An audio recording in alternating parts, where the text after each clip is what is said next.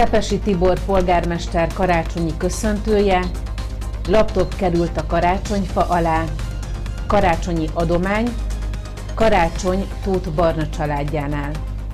Jó estét kívánok! Önök a nagykunsági híradót, a Karcag Televízió napi hírműsorát látják 2020. december 24-én 18 óra 5 perckor.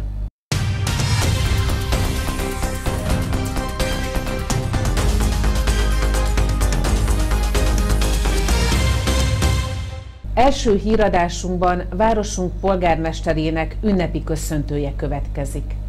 Kedves karcagi lakosok! Karácsony estéje van.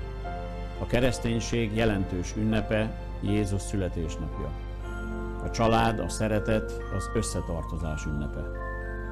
Leülünk a feldíszített fenyőfa mellé, s melegség tölti el szívünket. Megállunk egy pillanatra e rohanó világban, és számvetést készítünk. Felidézzük az eltelt év legemlékezetesebb pillanatait. A fenyőillat mellett emlékezünk örömteli pillanatokra, emlékezünk felejthetetlen élményekre, emlékezünk napokra, hetekre, hónapokra, évekre. Emlékezünk szüleinkre, gyermekeinkre, mosolygós arcokra, egy kacsintásra, egy válveregetésre, baráti ölelésre, egy gesztusra, egy szóra. De a fenyő alatt felsejlenek előttünk azok az arcok is, szeretteink, barátaink, ismerőseink arca, akiknek már csak emlékét őrizhetjük szívünkbe zárva. Karácsony estéje van. Hagynunk kell egy kis időt magunkra, amikor mindezt végig gondolhatjuk újra átélhetjük, amikor csendben egy könycseppet is elmorzsolhatunk. Hogy aztán mindezt elraktározva lelkünkben, ebből a töltekezésből meríthessünk majd erőt az elkövetkező időszakra. Az ünnep hangulatában azonban ne felejtsünk el figyelni a mellettünk lévőkre, a szeretteinkre, és azokra, akik fontosak számunkra. Higgyünk abban, hogy a szeretet és a vele járó békesség teszi még szebbé ünnepünket. Kedves karcagi lakosok! Kívánom, hogy ez az ünnep, akár egyedül, akár szeretteik körében töltik a karácsonyt, segítse önöket testi, lelki és szellemi megújuláshoz, feltöltődéshez, felgyógyuláshoz, hogy az új esztendőt újult erővel kezdhessük együtt. Áldott, békés, boldog karácsonyt kívánok! A Karcagi Tankerületi Központ, a Karcagi Általános Iskola és Alapfokú Művészeti Iskola mindhárom tagintézményéből egy-egy szorgalmas, tehetséges diákot megajándékozott karácsony alkalmából egy-egy laptoppal. Az ajándékokat Plósz Csilla intézményvezető adta át a gyermekeknek. A járványügyi helyzet miatt most az ünnepségen a diákok, szülei, osztályfőnökeik, tanáraik nem lehettek jelen. Ugye az idei évben is mondhatom azt, hogy már hagyományosan ilyenkor karácsony előtt kiosztjuk ezeket a laptopokat, melyeket a Karszagi Tankerületi Központnak köszönhetünk, hiszen ő finanszírozza ezeket a laptopokat. Minden évben évvége felé mind a három tagintézményünk nevelőtestületét, illetve az osztályfőnököket megkérdezem, hogy kik azok a tanulók, akik megérdemelnék ezt a, az ajándékot, és az idén is három tanuló került kiválasztásra, a Kiskulcsosi, a Kovács, illetve az Erkel tagintézményekből. Ezek a tanulók olyanok, akik a, az év során kiemelkedtek a tanulmányi eredményeikkel, jó volt a magaviseletük, szorgalmasak voltak, illetve a közösségben is meghatározó szerepet töltenek be.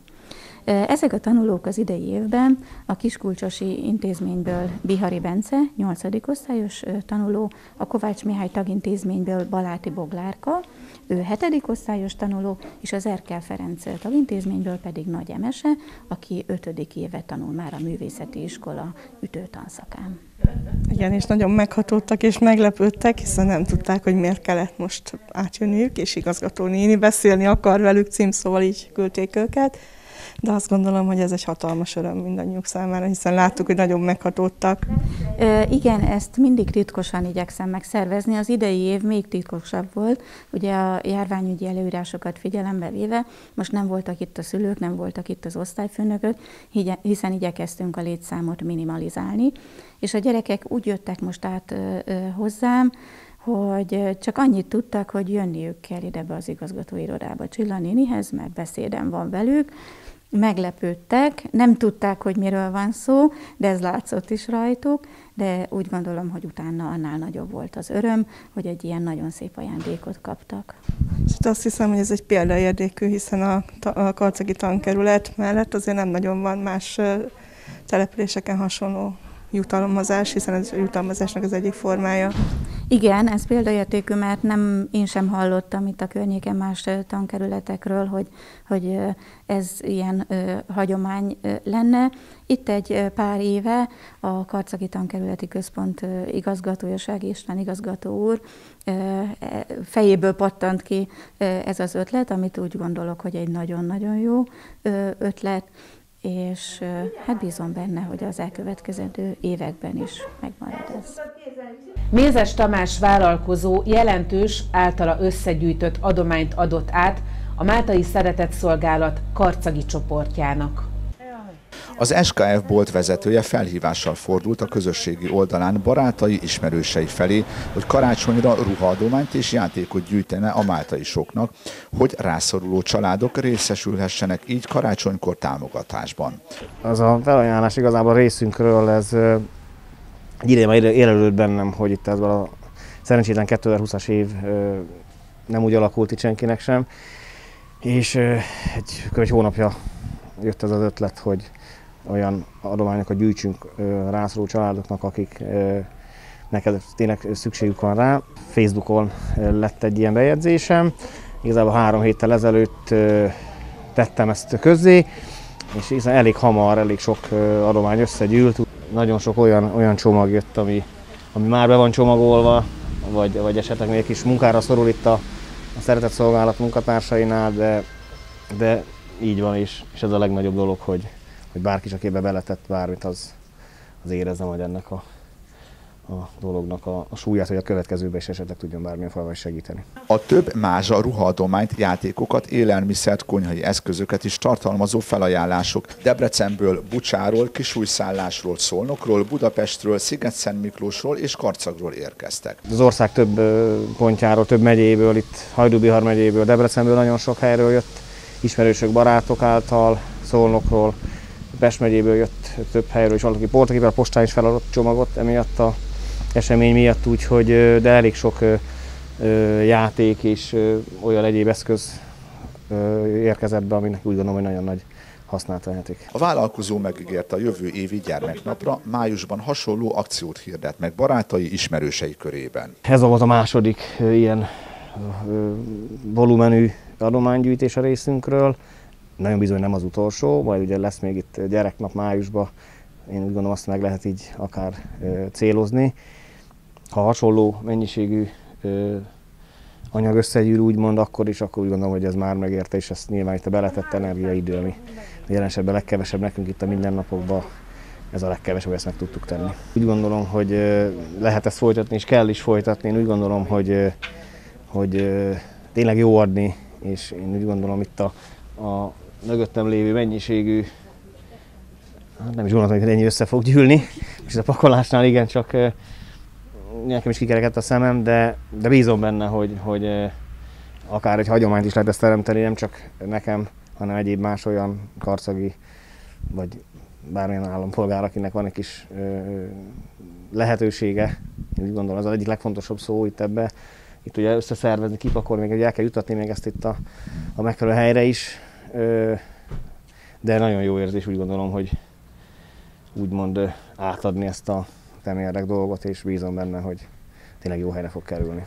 És még annyit hagy köszönjek meg az összes felajánlónak, bármit is tett hozzá, vagy segített benne, hogy, hogy nem tudom mindenkinek megköszönni nyilván, illetve, illetve személyesen átadni ezeket a dolgokat. Ez tényleg egy lehetetlen küldetés, de úgy gondolom, hogy, hogy nagyon köszönjük tényleg még egyszer, és a következő gyűjtéssel pedig majd időbe szólok mindenkinek. A jelentős adományt Kovács Mária, a karcagi csoport vezetője vette át, és köszönte meg a vállalkozóknak és minden segítőknek. Nagy-nagy köszönet és hála Mézes Tamás Kft-jének ezért a sok-sok adományért, és hogy stílusosan mondjam, hogy adni jó, adni öröm, és úgy gondolom, hogy ezt az érzést így karácsonykor mindenki átéli, mi meg nagyon köszönjük a bizalmat, hogy szervezetünknek adta ezt a feladatot, ezt a hálás, hálátlan feladatot, hogy a rászorulókhoz juttassuk el. Mi igyekszünk ennek maximálisan eleget tenni.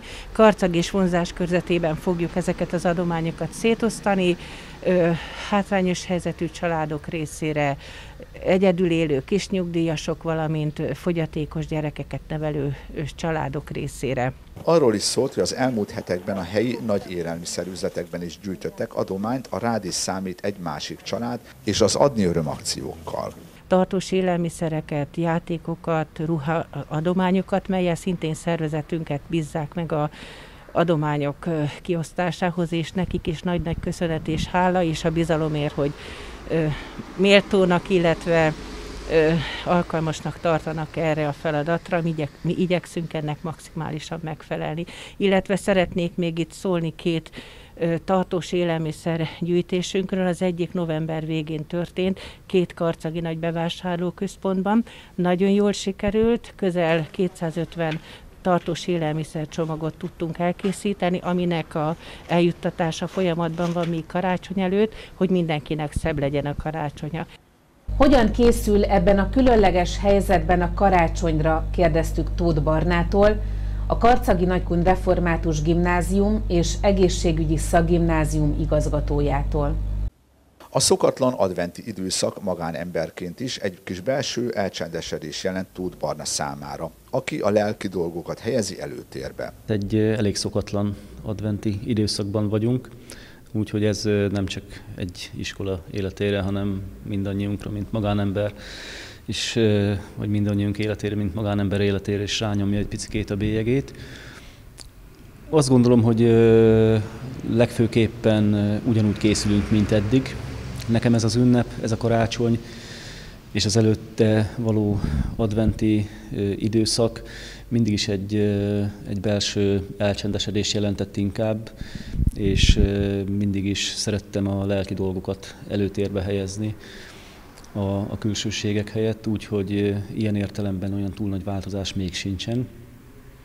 És az ajándékok megvételére is azt mondom, hogy, hogy mindenféleképpen személyes ajándékokat szeretek vásárolni, vagy személyes ajándékokat szeretünk adni egymásnak, amivel valóban az összetartozást, az egymás iránti tiszteletet, szeretetet próbáljuk kifejezni. Úgyhogy úgy gondolom, hogy ebben nagy változás nem lesz.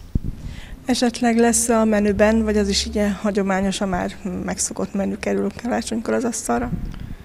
Igen, általában mi édesanyámnál töltöttük mindig a, a szentestét, és uh, itt uh, több évtized alatt alakult ki az a menüsor tulajdonképpen, amit, amit, amihez szerettünk is ragaszkodni, és édesanyám ezt kifejezetten finoman el is tudja készíteni mindig, ráadásul szívvel, lélekkel, úgyhogy ennek a legfőbb eleme az mindig a hal.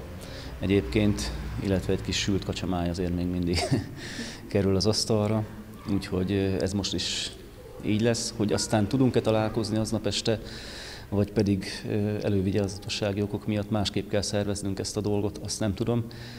De itt is azt tudom elmondani, hogy igazából ez másodlagos kérdés, mert ugyanazzal a szeretettel fogunk egymásra gondolni, mint eddig. Van esetleg olyan speciális sütemény, amit a felesége készít jól, és ezt viszik a, a mamának a, a vacsorájához még, vagy pedig inkább csak a mamának a főztjére koncentrálnak ezen az egy napon? A süteményeket általában itt a családban lévő hölgyek együtt szokták előállítani, és azért tradicionálisan nálunk is a mákos és diós beigli megjelenik, jó nagy arányú töltelékkel, mint ahogy szilveszterkor pedig a rétes, úgyhogy most is erre számítunk, és ezt várjuk majd. És a gyerekek hogy, hogy tudnak összejönni? Tehát a nagy család most azért nem valószínű, hogy össze tud jönni, hogy mindenki a mamához eljöjjön, de a gyerekekkel hogyan tudnak karácsonyozni? Igen, a két nagyfiú úgy gondolom, hogy itthon lesz mindenféleképpen, és ilyenkor azért együtt szoktuk díszíteni a fát. Az ajándékcsomagolás az inkább az én dolgom, nem szívesen adom ki a kezemből, tehát ezt én nagyon szívesen végzem ezt a fajta tevékenységet. Az erdélyi rokonaikkal azonban csak telefonon tudnak majd beszélni. Nekünk ugye vannak erdélyi rokonaink, hát most oda egészen biztosan nem tudunk elmenni, úgyhogy ez egy, ez egy picikét fájó pont talán. Nyáron sem tudtunk elmenni, de úgy gondolom, hogy, hogy ami késik nem múlik, és itt is legfontosabb az egészség. Kedves nézőink, napi hírműsorunkat, a Nagykunsági híradót látták. Riportjainkat újra megnézhetik internetes felületünkön a www.karcaktv.hu weblapon. Ne feledjék, vigyázzunk egymásra és viseljünk maszkot. Áldott, boldog karácsonyt kívánunk! Viszontlátásra!